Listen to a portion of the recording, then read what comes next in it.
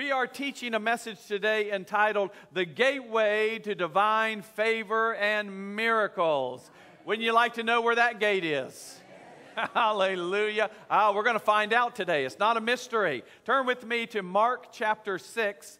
We'll read verses 1 through 6, and when you're there, say, I'm there. If you're heading in the right direction, say, I'll be there. All right. Mark chapter 6, verse 1.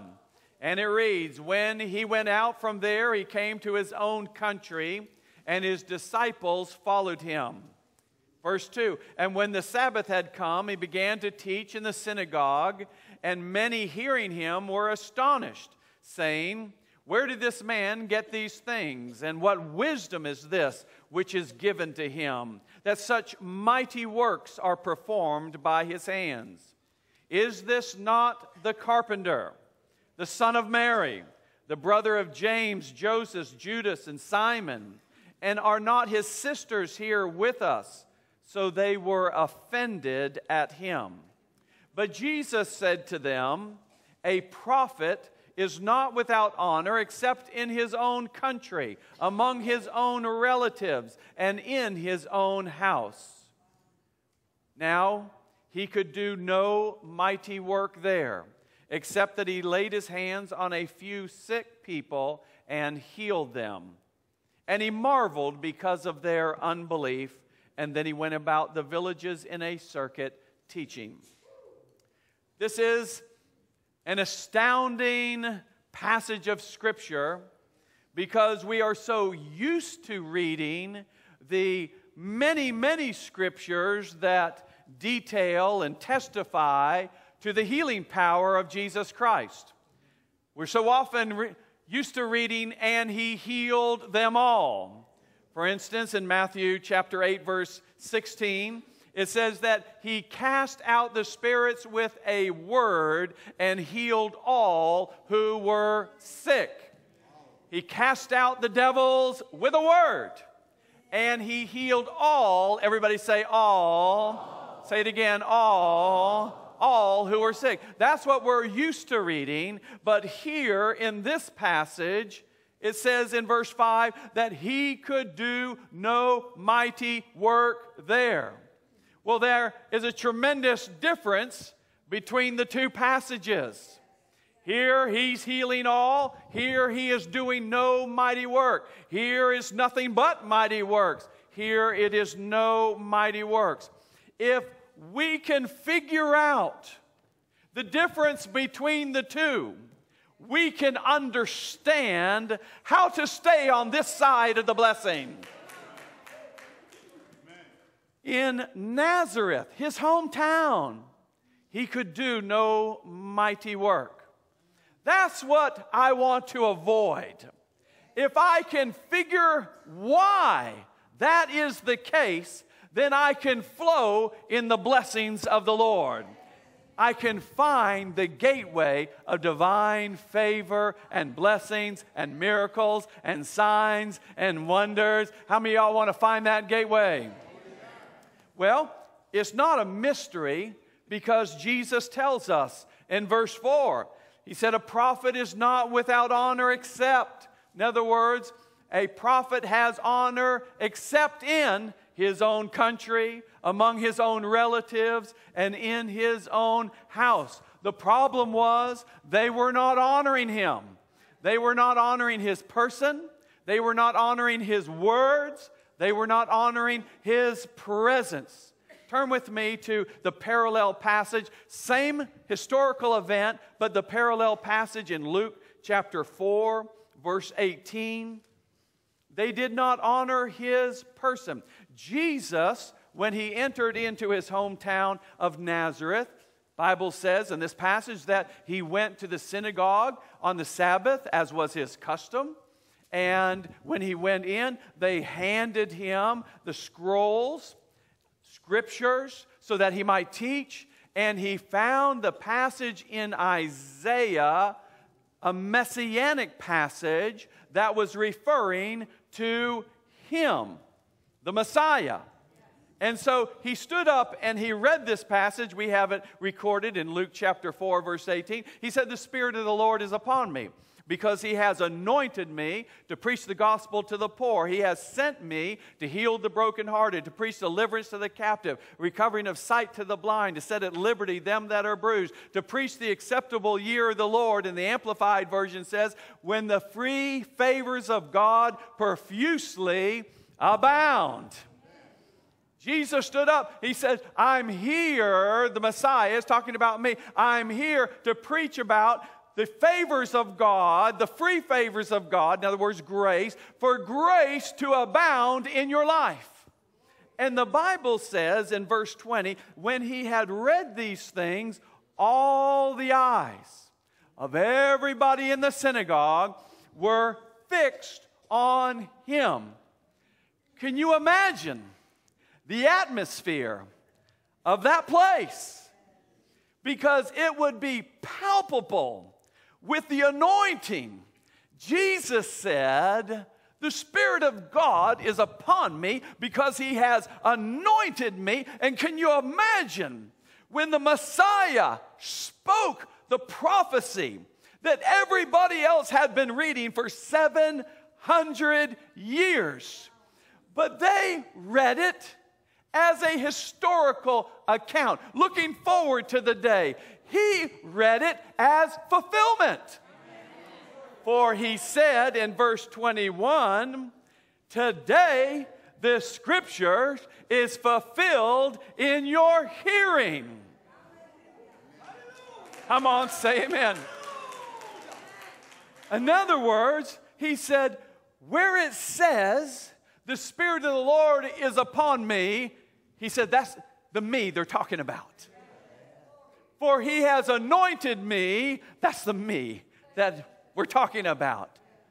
For he has called me to preach the gospel to the poor and has sent me to heal the brokenhearted. Me. He was saying, I'm the me. I'm the me.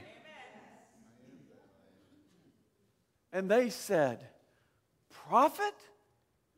Messiah? No. Carpenter. We know you.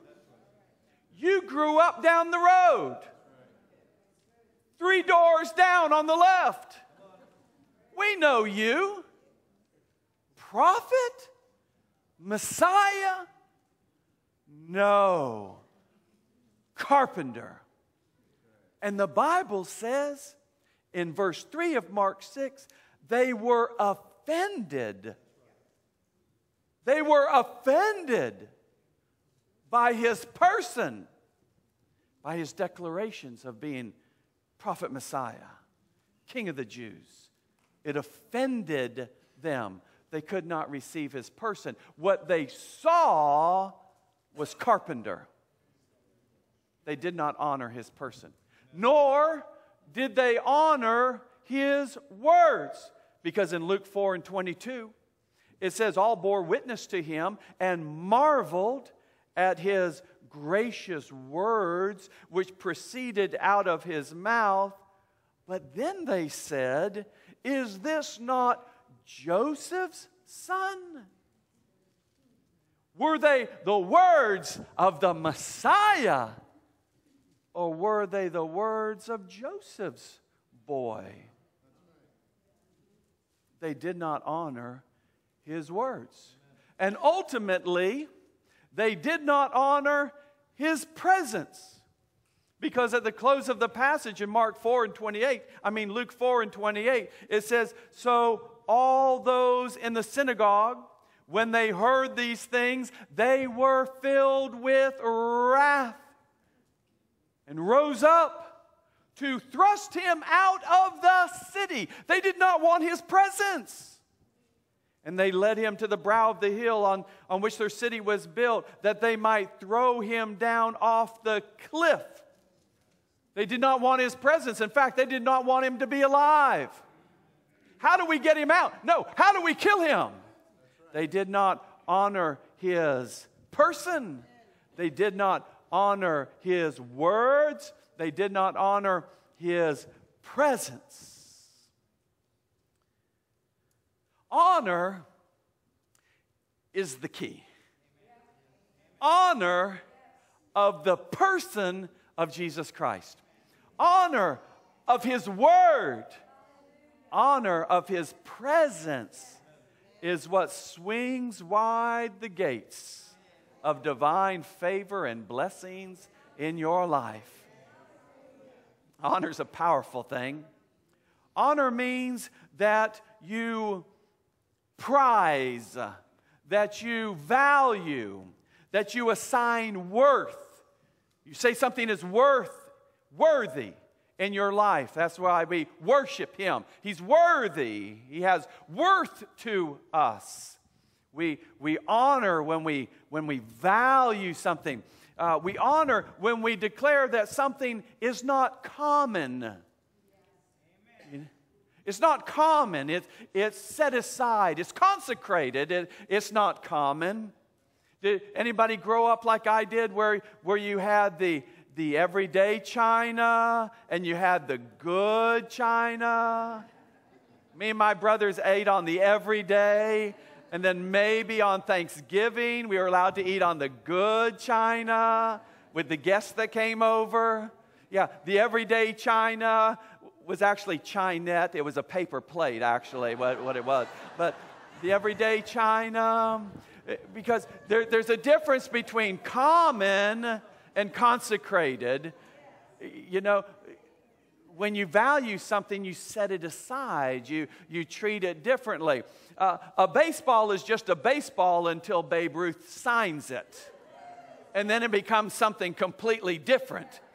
Yeah, that goes into the savings deposit box. That's, that's, that's a keeper. You know, uh, th- things have different, different values. You treat it, you treat it differently. It, it's not common anymore. You know, a, a, a painting by the masters is different than a painting by numbers. Is it not? Yeah. Though I like painting by numbers. I don't understand all the paintings by masters. I, I, saw a show. I like, I like art a lot. My brother's an artist. I like art, art a lot. And, and uh, I saw a documentary, and you know what the most expensive painting ever sold at auction? You know how much it, it went for? $250 million in 2011. 250 million, I said million, 250 million dollars. And, and, if one of y'all bought that, I need to talk to you after service. Because it's time to sell that thing. But um, I got some plans. Um, $250 million. You say that, that must have been some painting. Not really. It, it was a painting by uh, Paul Cezanne. It was a painting of two guys sitting at a table playing cards. $250 million. There was another one. It was only $80 million. And uh, it, was, it, was a, it was a large painting, 80 million. And at the top of the painting was a big yellow block and at the bottom of the painting was a big red block. And in the middle was a blue stripe. $80 million. And, and the, the fellow that was doing the documentary asked the, asked the guy who bought it for $80 million. He, said, he says, Why is this worth $80 million? Yellow block, red block, blue stripe. Why is this $80 million? He says, Oh, the artist this artist did something that no one else has done before. And, and I'm thinking, yellow block, red block, blue stripe. I have vivid memories of kindergarten.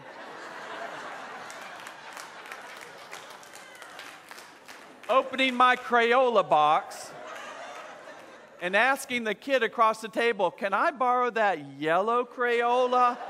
I've got an $80 million idea coming up here.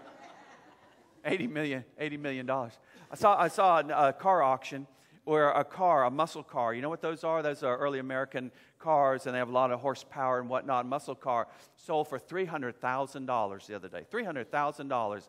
And uh, and I thought, I got to see this car. It's going to be an amazing car. And so the, the camera was panning around. I literally stopped in my TV room so I could see this thing. Show me the $300,000 car. And the camera is pan, panning around. And here is a chassis up on blocks and the engine is sitting over here, and the drive shaft is sitting over there, and there's some tires scattered around and parts of this and that. And I thought, he spent $300,000 for parts. and, and that's exactly what the reporter said. You spent $300,000 for parts. And um, I mean, he said, You can't even drive this thing home. And he says, It'll never be driven. He says, but once I put it together, it is such a rare car. Once I put it together, it'll be worth $800,000.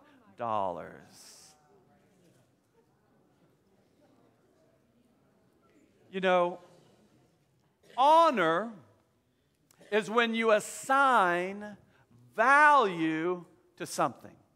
What makes it valuable? Well, it's rare or, or it's unique or the, the quality of of the construction is, so superb, or maybe it's a, a gift from a loved one and has sentimental value to you, or, or maybe it's some, from uh, some distinguished person, a VIP, has given you something and it has great value. It commemorates a moment in, in your life. We, we uh, uh, assign value to something. What, what the people in Nazareth could not do was assign value to the person of Jesus Christ.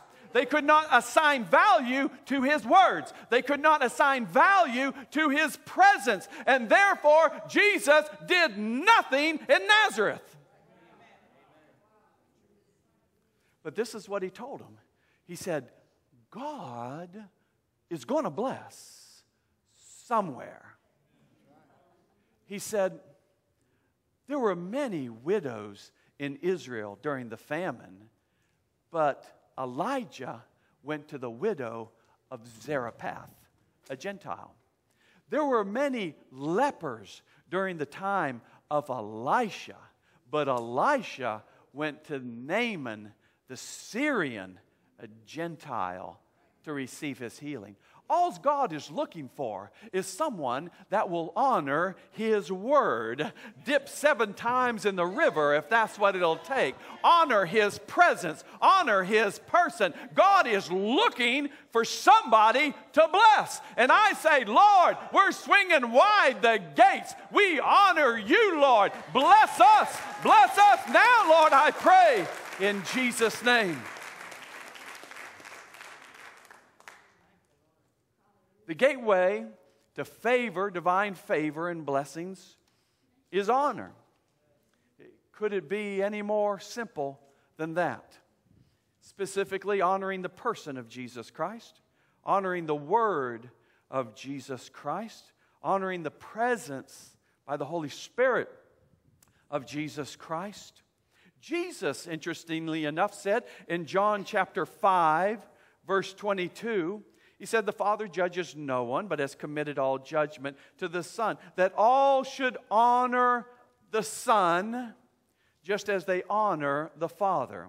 He who does not honor the Son does not honor the Father who sent him. I say that we, the body of Christ in the world today, we must, we should honor the person of Jesus Christ. He has been so good to us. I remember hearing a, uh, a sermon preached, 70s, 80s, can't remember exactly when, but um, the pastor was preaching under great anointing, and he, he cried out, My God, my God, what have they done to my Jesus? And I thought, What have they done to our Jesus?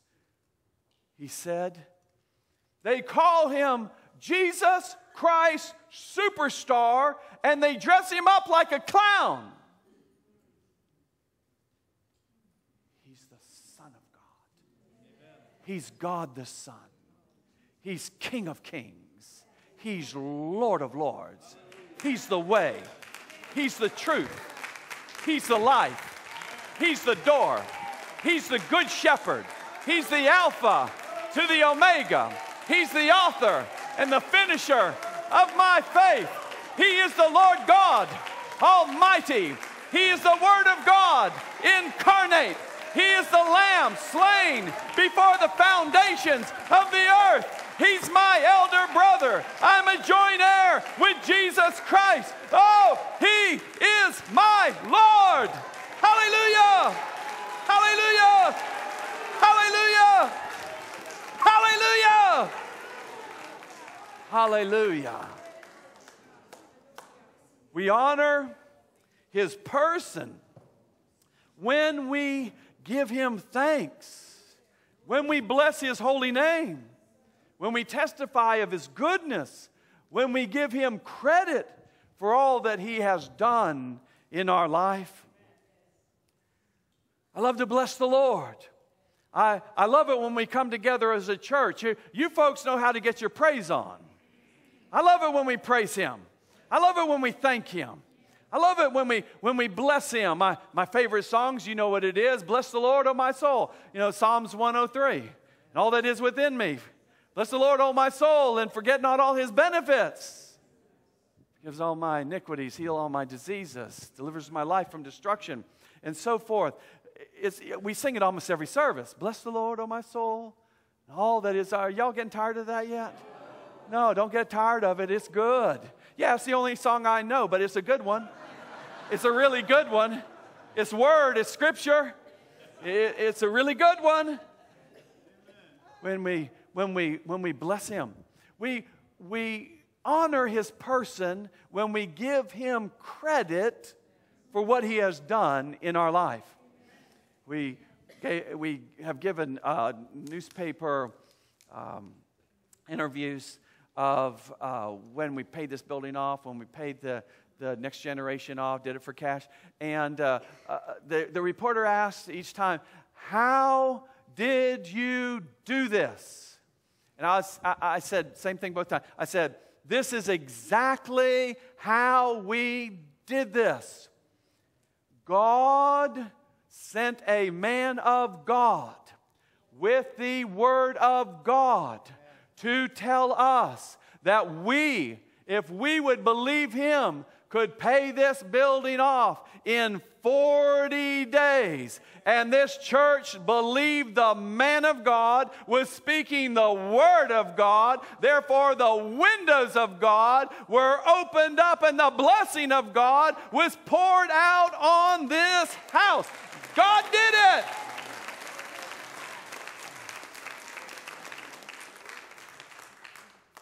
Said, okay. He said, next interview, how did you pay cash for this building, next generation building? I said, I'll tell you exactly how we did it. God sent a man of God who spoke the word of God to the people of God that said if we could build this house for cash, if we would believe God, we believed God, and God opened the windows of heaven and He poured out His blessing on this church, and we did it. Hallelujah.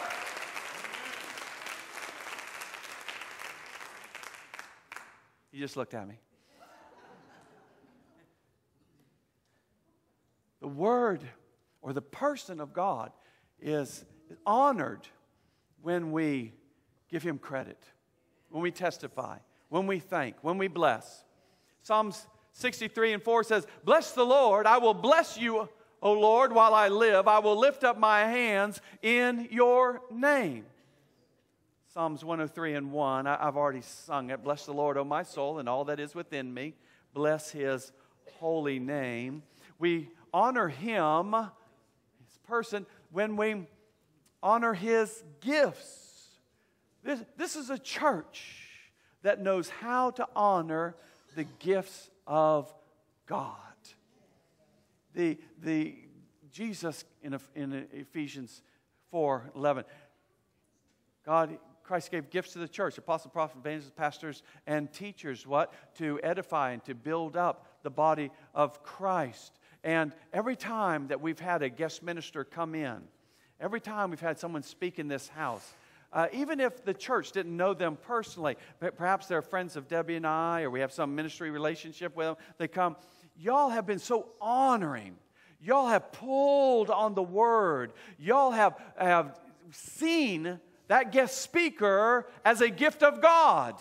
And every time, every time, they speak to me after service and say, if you can't preach in this house, you can't preach. Y'all, y'all know how to pull on the word. I said, that's because I tell the folks, drain them dry. Pull on the word. Pull on the word. Come on, say amen. Amen. amen.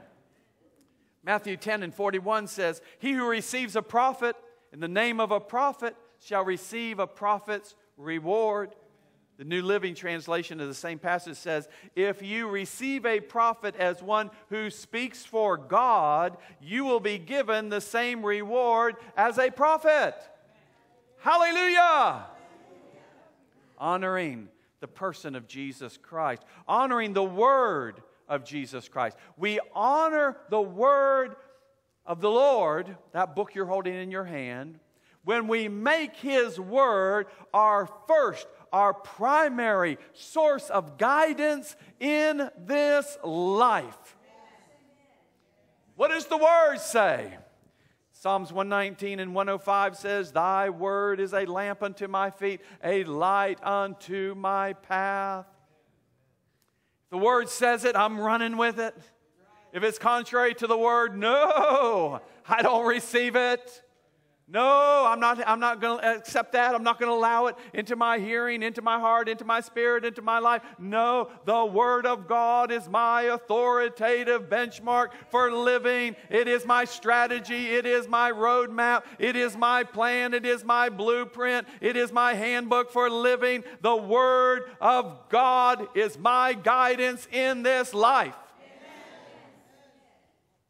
We honor God's Word when we make or have a biblical worldview. That means you view the world through the lens of the Bible, a biblical worldview. Everybody's got a worldview. Some people have a secular worldview, some people have other types of worldview. But the Christian, the believer, should have a biblical worldview. Psalms 119 59 says, I ponder the direction of my life and I turn to follow your laws. George Barna, uh, uh, someone who does surveys, and he does surveys primarily of the church and the body of Christ. He did a survey about the biblical worldview. He wanted to know how many people in the United States had a biblical worldview, how many people in the body of Christ had a biblical worldview. So he did a survey. He asked 10 questions. The first one was this Do absolute moral truths exist? The second one is absolute truth defined by the Bible. Number three, did Jesus Christ live a sinless life? Number four, is God the all powerful and all knowing creator of the universe? And does he still rule it today? Next, is salvation a gift from God that cannot be earned? Next, is Satan real? Does a Christian have a responsibility to share his or her faith in Christ with other people? Lastly, is the Bible accurate in all of its teachings? Only 9% of born again believers answered yes to all those questions. 9% of the body of Christ have a biblical worldview only 4% of this country has a biblical world view. We've got some work to do. But I declare that I'm going to honor His word, and I will have a biblical worldview. And we declare as a church, we will honor His word and have a biblical worldview. And that's next generation of believers that we are nurturing and bringing up to be leaders and pillars in the body of Christ. They will have a biblical world view. We honor God. We honor God's word when we treat it as the bread of life.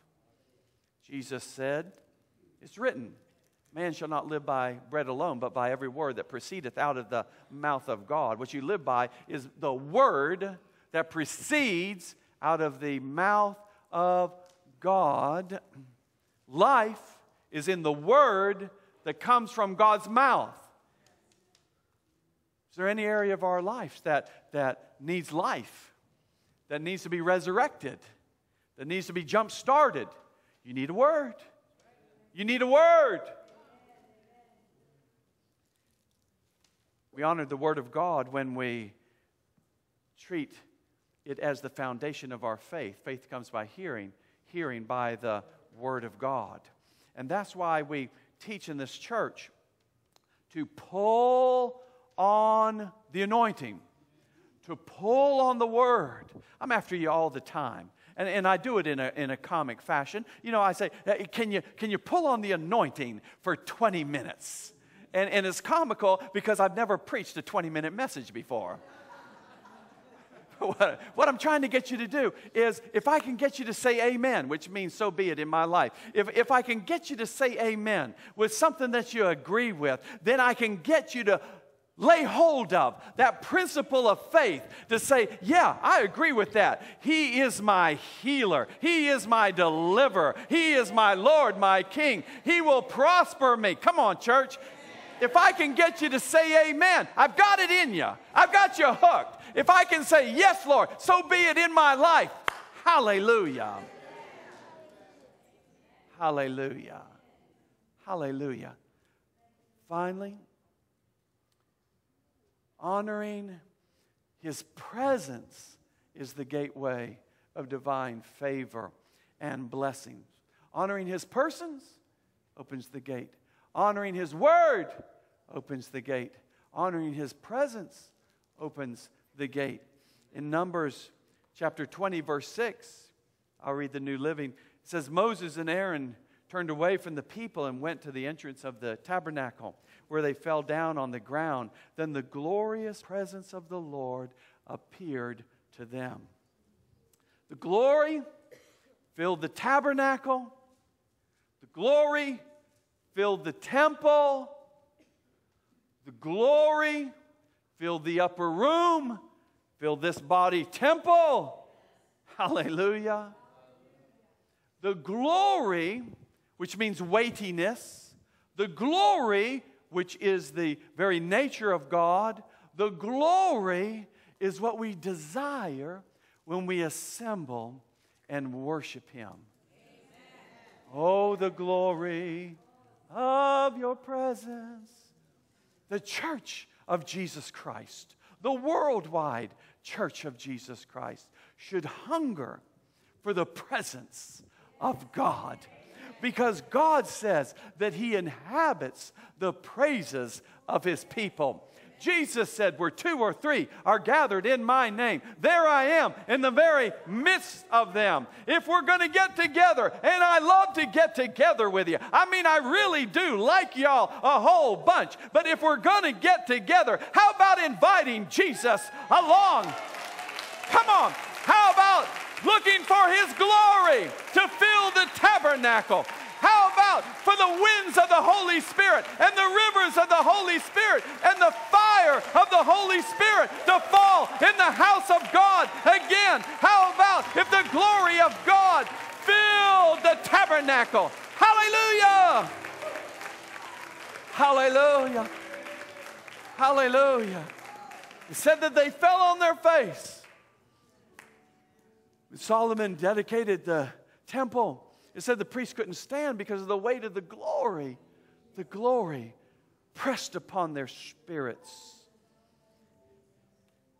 If we honor the person of Jesus Christ, then grace is released. If we honor the word of Christ, then faith is released. If we honor the presence of Christ by his Spirit, then the glory is released. The psalmist said, As the deer panteth after the water brooks, so panteth my soul after thee, O God. My soul thirsteth for God, for the living God. When shall I come and appear before God? I say right now. Lift your hands with me. Did you get anything out of this today? Hallelujah.